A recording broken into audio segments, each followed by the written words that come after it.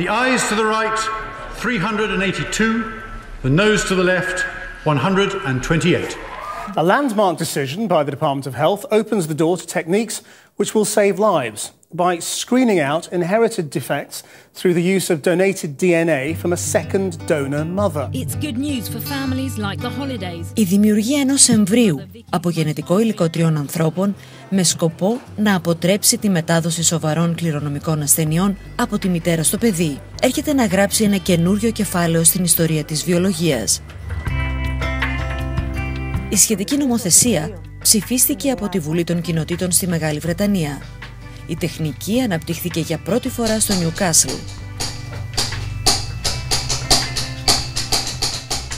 Τα παιδιά που γεννιούνται έχουν δύο γενετικούς γονείς.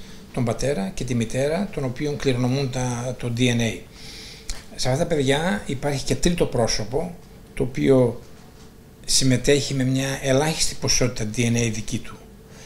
Ε, και ο σκοπός όλης αυτής της προσπάθειας είναι να αντιμετωπιστεί μια μεγάλη κατηγορία ασθενειών οι οποίες έχουν πολύ σοβαρή πρόγνωση. Πολλά από τα παιδιά τα οποία προσβάλλονται πεθαίνουν σε νεαρή ηλικία και σε αντίθεση με αυτό που πιστεύαμε μέχρι πριν πρόσφατα ότι είναι σπάνιες αυτές οι αρρώστιες ένα στα 20.000 πιστεύαμε πριν ενώ στην πραγματικότητα σήμερα είναι γνωστό ότι εμφανίζονται πολύ πιο συχνά ένα σε κάθε 200 άτομα. Δηλαδή, μια πόλη όπως είναι η Θεσσαλονίκη έχει γύρω στις 5.000 άτομα με προβλήματα που έχουν σχέση με τα λεγόμενα μυτοχονδριακά νοσήματα. Αυτό είναι ένα κύτταρο, όπως είναι τα κύτταρα όλου του οργανισμού μας. Κάθε κύτταρο έχει μέσα ένα πυρήνα και αυτό όλο το περιεχόμενο λέγεται κυταρόπλασμα. Μέσα σε αυτό το κυταρόπλασμα βλέπετε ότι υπάρχουν αυτά τα μικρά οργανίλια, είναι μικρά σωματίδια τα οποία λέγονται μυτοχόνδρια. Τα μυτοχόνδρια, αυτά τα πράσινα που βλέπετε εδώ, σαν, έχουν σαν σκοπό να παράγουν ενέργεια στον οργανισμό. Είναι δηλαδή ο καυστήρας του οργανισμού μας. Έχουν όμως και μια πολύ μικρή ποσότητα DNA. Το 99% του DNA του ανθρώπου εντοπίζεται μέσα στον πυρήνα. Και μόνο 1% το πολύ βρίσκεται μέσα σε αυτά τα οργανίλια και εκεί μπορεί να δημιουργούν τα προβλήματα. Εδώ είναι μερικά από τα νοσήματα τα οποία είναι γνωστά. Δείτε, νόσος του Αλτσάιμερ, νόσος Πάρκινσον, σαχαρόδης διαβήτης, κόφωση κληρονομική, χρόνια εντερική απόφραξη, μειοπάθειες. Πολλά άτομα αυτά εμφανίζουν μειοπάθεια, η οποία τελικώς οδηγεί και σε ολοκληρωτική παράλυση. Ευνίδιο νεογενικό θάνατος, να μην σας κουράζουν περισσότερο. Είναι μια μεγάλη λίστα ασθενειών, σοβαρών ασθενειών.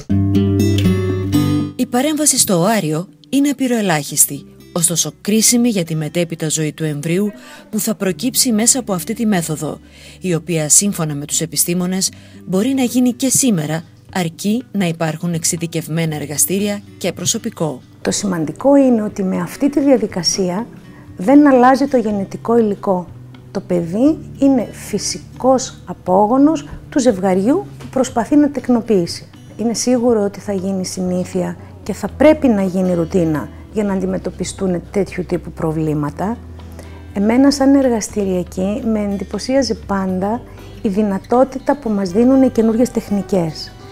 Φανταστείτε, μιλάμε για ένα οάριο το οποίο σε μέγεθος είναι το μισό, για να μην πω και λίγο λιγότερο, από τη διάμετρο που έχει μία τρίχα από τα μαλλιά μας.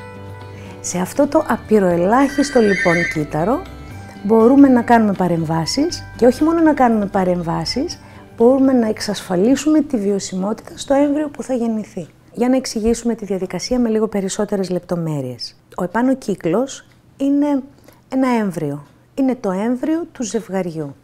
Σε αυτό το ζευγάρι, τα μυτοχόνδρια του συγκεκριμένου εμβρίου, τα βλέπετε με πορτοκαλί χρώμα, είναι παθολογικά. Ακριβώς από κάτω υπάρχει το έμβριο που έχει δημιουργηθεί με οάριο δότριας και με το σπέρμα του συζύγου. Αυτό το έμβριο έχει πράσινα μυτοχόνδρια, δηλαδή έχει υγιή μυτοχόνδρια.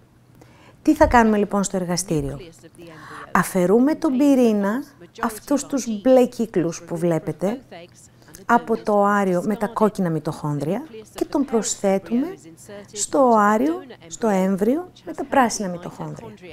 Αλλάζοντας λοιπόν το γενετικό υλικό, εξασφαλίζουμε υγιή μυτοχόνδρια αλλά τα χαρακτηριστικά των γονέων. Εδώ ο σκοπός δεν είναι να βοηθήσουμε τα παιδιά να τεκνοποιήσουν, είναι να βοηθήσουμε τα ζευγάρια αυτά να παρακάμψουν μια μεγάλη κατηγορία ασθενειών Και αυτό είναι πολύ σημαντικό διότι δεν αφορά απλώς την αναπαραγωγή απόψεω πολλαπλασιασμού των παιδιών, αλλά αφορά όλο σχεδόν το φάσμα της ιατρικής. Και αυτό είναι ένα μεγάλο breakthrough πραγματικά. Διότι όλα αυτά τα μεγάλα νοσήματα που σας ανέφερα προηγουμένως και είναι πάρα πολλά, απασχολούν όλες τις ειδικότητες ιατρικής με το ανάλογο κόστος και το στρε το οποίο βέβαια υφίστανται τα άτομα τα οποία πάσχουν.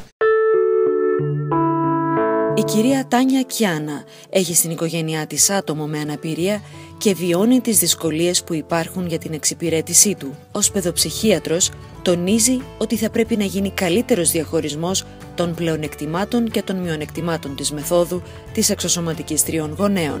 Θα ήθελα να είχα τη δυνατότητα να γνωρίζω ακόμα περισσότερα σαν μητέρα. Ε, όσον αφορά τις επιπτώσεις και τις θετικές και τις αρνητικές ενδεχομένως που θα είχε ε, να κάνει μια τέτοια κίνηση.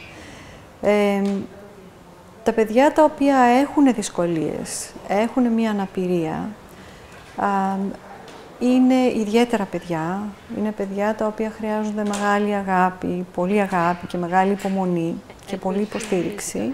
Οι παρεμβάσεις οι οποίες γίνονται για να ανακουφίσουν το βάρος το οποίο έχουν και τα παιδιά και οι γονείς θα μπορούσαν να γίνουν στο προγεννητικό στάδιο, ε, αυτό θα ήταν ε, κάτι το οποίο θα ήταν καλοδεχούμενο εφόσον θα ήταν ασφαλές να γίνει.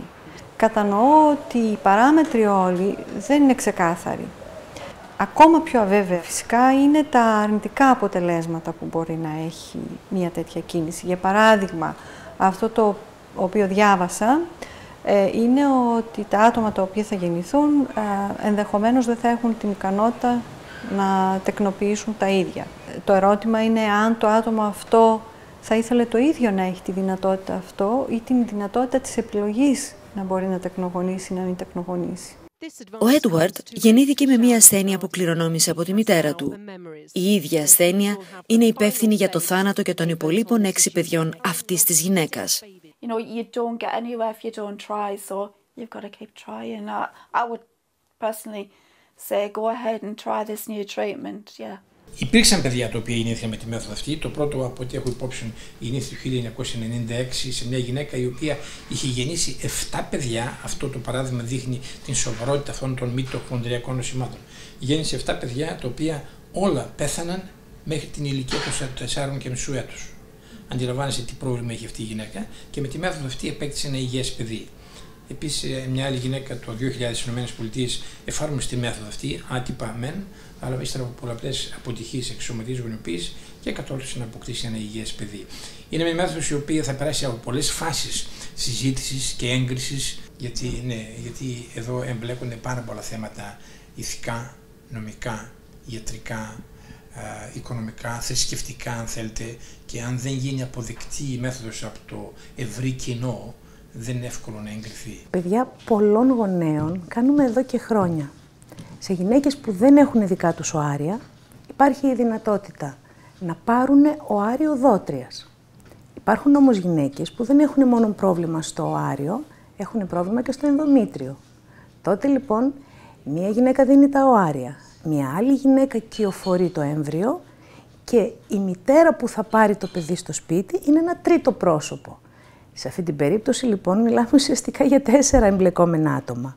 Ο νόμος ο καινούριος από το Βρετανικό Κοινοβούλιο δίνει τη δυνατότητα να κάνουν υγιές παιδί γυναίκες των οποίων τα οάρια έχουν πρόβλημα στα μυτοχόνδρια.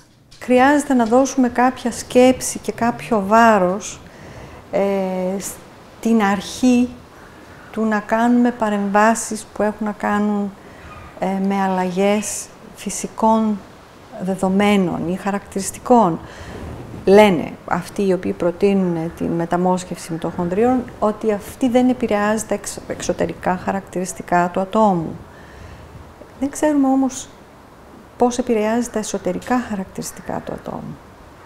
Ε, πώς μπορεί να επηρεάσει τον χαρακτήρα του τα μυτοχόνδρια είναι μέρος από το κύτταρο και σαν μέρος του κυτάρου συνεργάζεται με τα υπόλοιπα μέρη του κυτάρου και επόμενο είναι να τα επηρεάζει, να επηρεάζει και το γεννητικό υλικό και τις εκφράσεις του, δεν λειτουργούν ανεξάρτητα. Τα ερωτήματα και τα διλήμματα πολλά για την εφαρμογή ή όχι της μεθόδου. Οι υποστηρικτές της μπορεί να αναρωτηθούν αν η παντελής απόρριψη μιας τέτοιας τεχνικής που στοχεύει στη λύση γενετικών προβλημάτων και στην ανακούφιση μιας οικογένειας ή μιας κοινωνίας που τα επομίζεται αποτελεί υπεύθυνη πράξη. Από την άλλη πλευρά, κάποιοι αναρωτιούνται για το πόσο συνετά θα χρησιμοποιηθεί αυτή η μέθοδος και δεν θα ξεφύγει από τα όρια της ηθικής και της παρέμβασης σε άλλα κρισιμότερα χαρακτηριστικά του ατόμου. Το μόνο σίγουρο είναι ότι ακόμη έχουμε πολύ δρόμο να διανύσουμε μέχρι να δοθεί το πράσινο φως στις γυναίκες με μυτοχονδριακά νοσήματα στο DNA τους να μπορούν να τεκνοποιήσουν παιδιά χρησιμοποιώντας το γενετικό υλικό τριών ανθρώπων.